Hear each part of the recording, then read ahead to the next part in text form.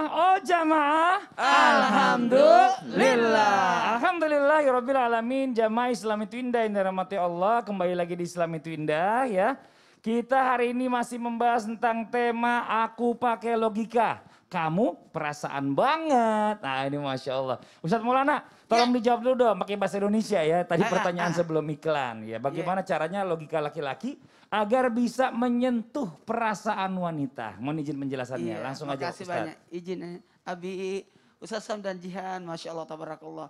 Bismillahirrahmanirrahim. Assalamualaikum warahmatullahi wabarakatuh.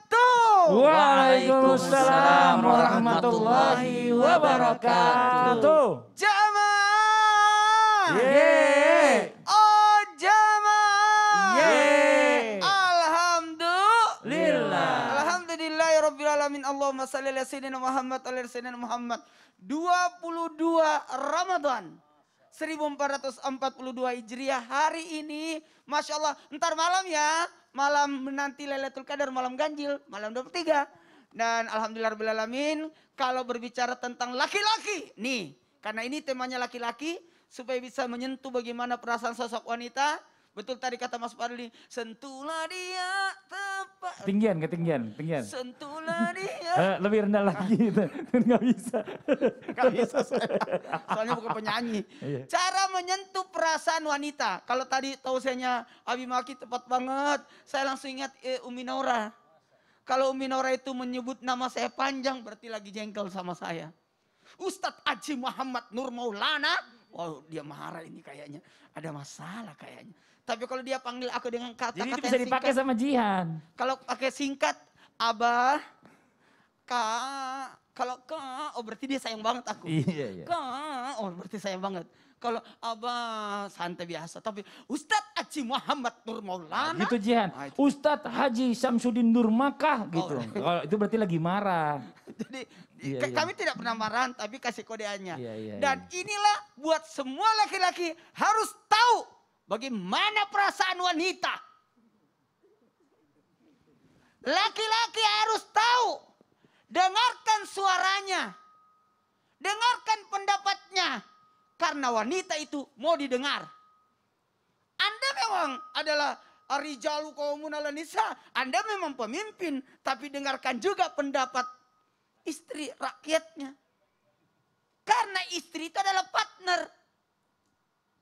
Hmm. Hmm. Kalau begitu itu mau didengar itu. Jangan dicuekin.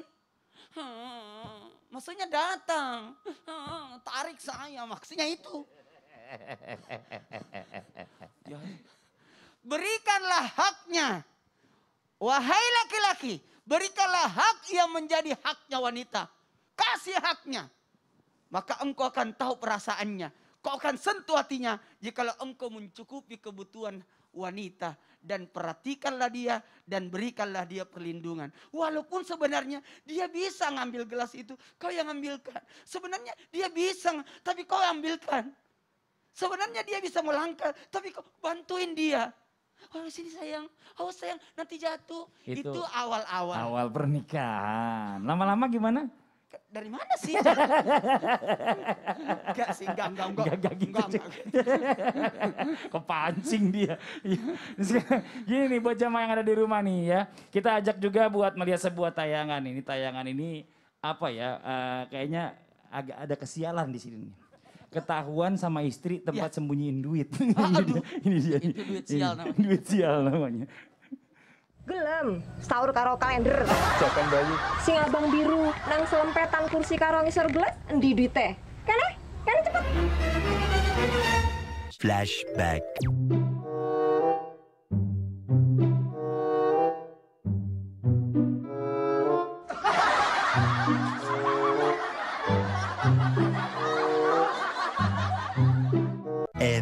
Flashback. Ndang Pak E, gelem sahur nganggo kalender.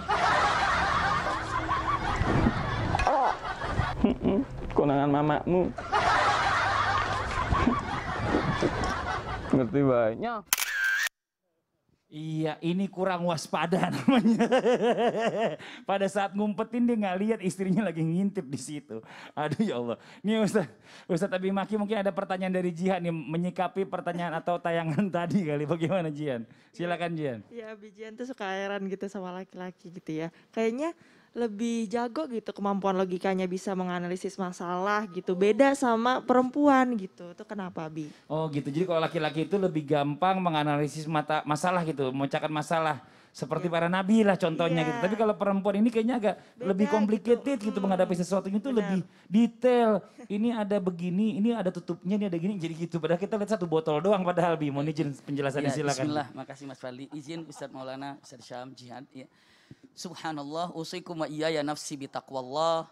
Keindahan daripada laki-laki dan wanita, makanya disebut juga zawaj, menyatukan sesuatu yang berbeda. Bukan hanya bentuknya saja yang berbeda, ternyata sifatnya pun berbeda.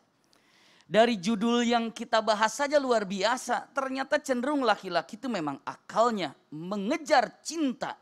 Seorang laki-laki mana yang masuk akalnya itulah yang dicintai.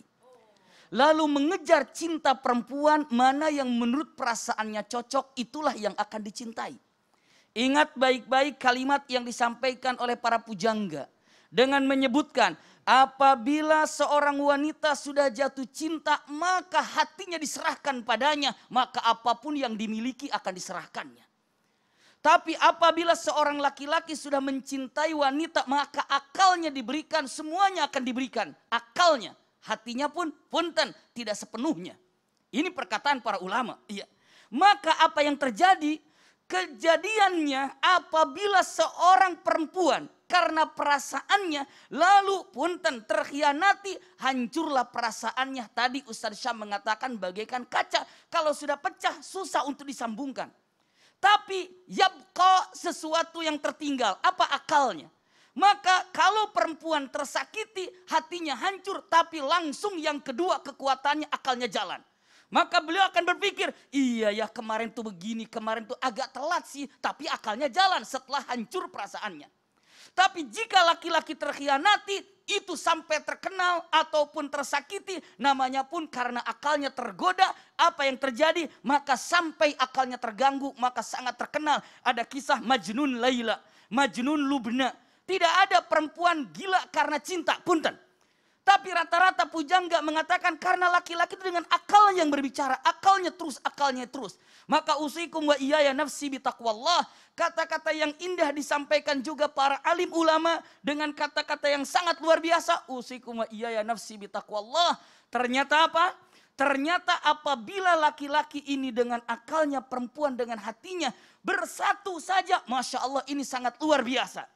Ingat perkataan indah, karena perempuan ini adalah dengan hatinya, hatinya, maka hati ini adalah sinaatul hub, pabriknya cinta.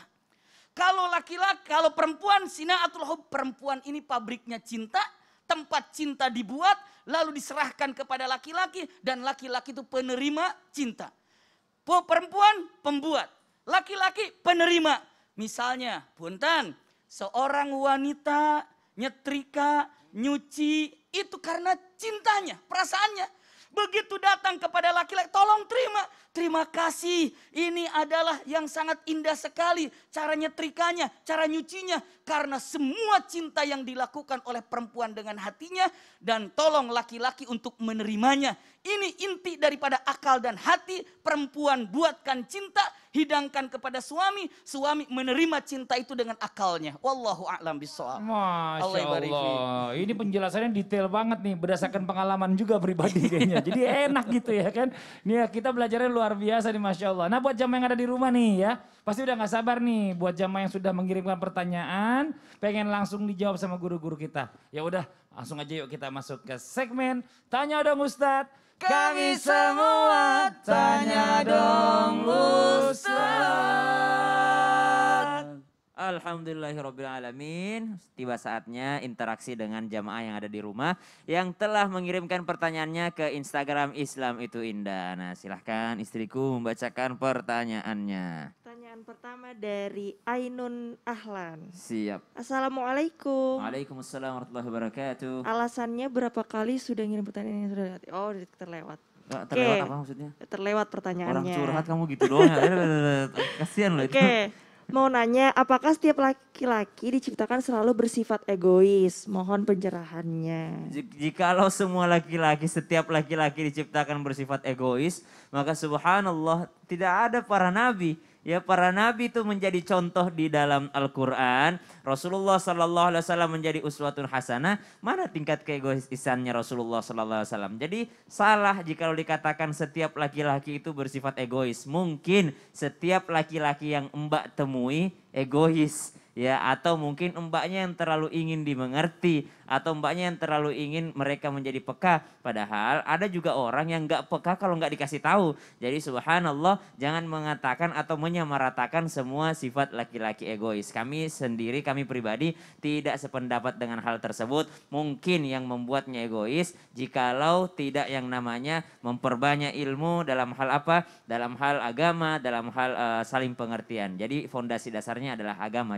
jikalau agama sudah dipegang insya Allah tidak ada keegoisan. Sebagaimana Rasulullah katakan eh, la yu'minu ahadukum hatta yuhibba li akhihi kama yuhibbu li nafsi. Tidak beriman seseorang jikalau dia belum mencintai saudaranya seperti dia mencintai dirinya sendiri. Tidak ada keegoisan jikalau orang belajar agama. Allah alam. Masih ada sayang pertanyaannya? Oke, masih. Dong. dari Anis Yulianis. Siap Assalamualaikum Ustadz, mau tanya. Waalaikumsalam warahmatullahi Ada wabarakatuh. seorang lelaki dulu pernah dekat dengan saya, tapi sekarang dia sudah bertunangan dengan wanita lain dan ingin melangsungkan pernikahan. Tapi ternyata belum satu bulan lelaki tersebut menghubungi saya dan ingin menikahi saya daripada dengan wanita yang jadi tunangannya.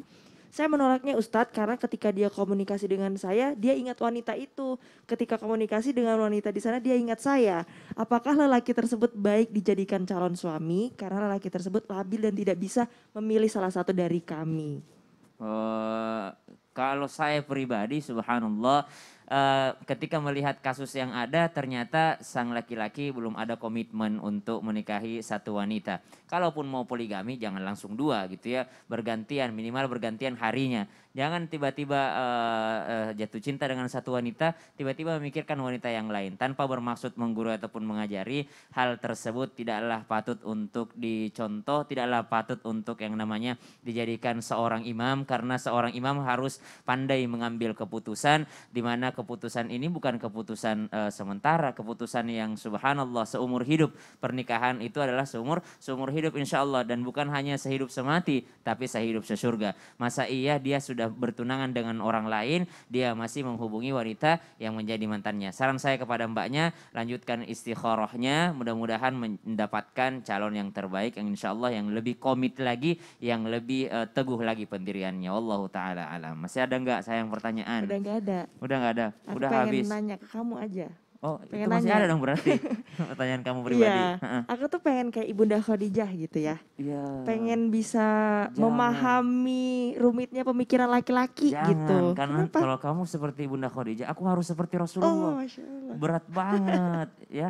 Kamu Iya. standarnya jangan terlalu tinggi lah. Oke, oke. Tapi kalau mau tahu tips-tipsnya ataupun mau tahu bagaimana karakter eh, Ibunda Khadijah radhiyallahu taala anha, insya Allah kita jelaskan setelah yang satu ini. Makanya jamaah jangan ke mana-mana, tetap di Islam itu indah. Jamaah, oh jamaah, alhamdulillah. alhamdulillah.